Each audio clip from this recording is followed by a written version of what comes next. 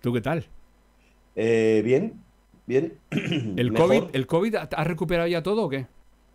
Eh, bueno, supongo que sí, me ha quedado así un poco de ronquera y tal, pero, pero bien, a ver, solo estuve malo así, lo que consideramos malo un día, luego dos días más con tos y luego ya dejando pasar los días del aislamiento. Vale, vale. ¿Y cómo vas de vacunas? ¿Tienes las tres? ¿Dos? No, una? Me, me tocaba la tercera este lunes, entonces aplacé, aplacé cuando sabía que, bueno, cuando en realidad no sabía, di positivo en, un, en uno de antígenos, como esto es eh, la autogestión llevada al máximo exponente, pues eh, me hice el test de antígenos, di positivo y fui informando a todos los que podían estar interesados. Me refiero eh, Comunidad de Madrid, Sanidad, Movistar y tal. Y, nada, entonces aplacé, aplacé al día, al último día que me daba opción eh, la aplicación esta de la Comunidad de Madrid, que era el día domingo, día 30, pero no se cumplen las cuatro semanas que dicen que hay que dejar pasar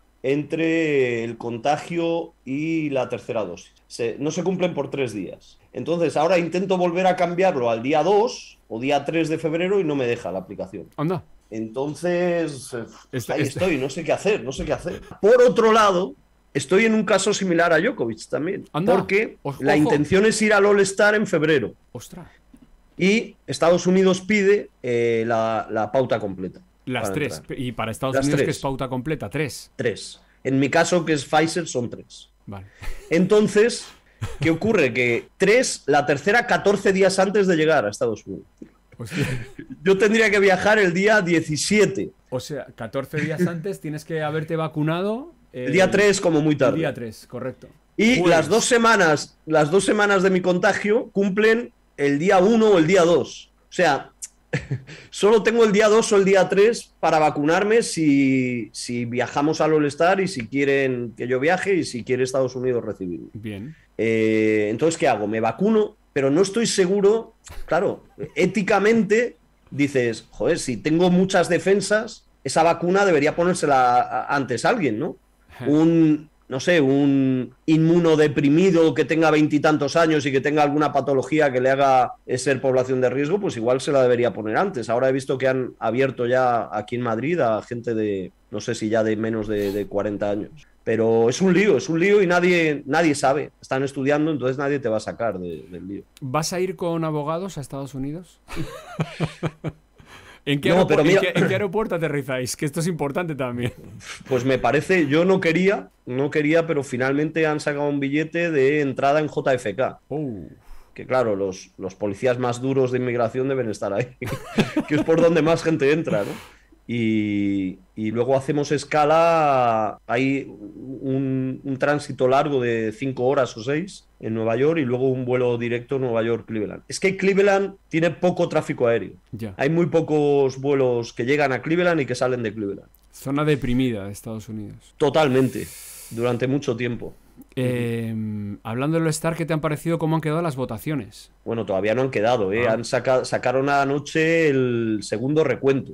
Y bueno, pues yo creo que más o menos bien. Eh, la gente está reaccionando un poco al rendimiento de los últimos días. Por lo tanto, Jay Moran, que es el que la está rompiendo ahora, pues ha adelantado la votación en el oeste a, a Luka Doncic. Eh, LeBron sigue mejorando en las votaciones. Y nada, pues eh, Harden ha caído. Ha subido Trey Young. Pero escucha, ¿LeBron está en duda o qué? No, lo que pasa que LeBron eh, puede no ser capitán. Eh, ah. eh, ahora llevamos varios años en el que el más votado de cada conferencia es el capitán. Es el capitán y, sabes que hacen como van eligiendo sus compañeros. Ya no son, ya no es una conferencia contra otra, sino votan por conferencias y los dos capitanes eh, dice el más votado es el que primero elige y dice yo quiero que sea mi compañero ante tu cumpo sí como en el, en el, recreo del colegio. exacto exacto. Entonces después de varios años podría no ser capitán LeBron James porque me parece que Stephen Curry y Kevin Durant son los más votados en una y otra conferencia. O sea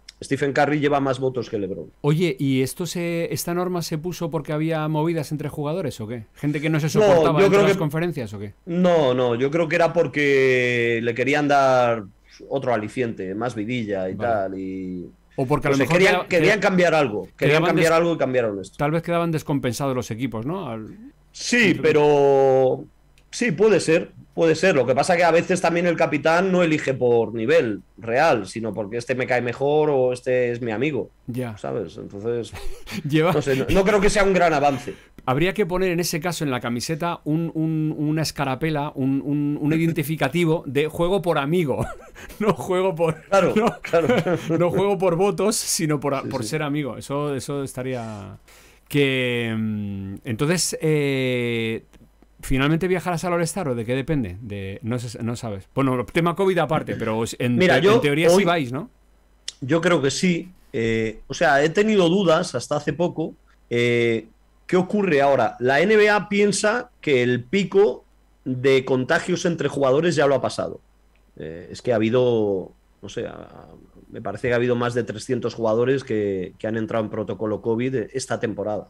Eh, ¿Qué ocurre? Que ahora parece ser que tienen el problema en el staff de los equipos. Es decir, entrenadores ayudantes, encargados del material, fisios, médicos, eh, gente que. el delegado de cada equipo ¿no? que monta los viajes. Toda esta gente es la que se está contagiando ahora con Omicron. Y está siendo un problema para la NBA, ¿eh? porque, claro, la competición no para, hay mucho trabajo para esta gente.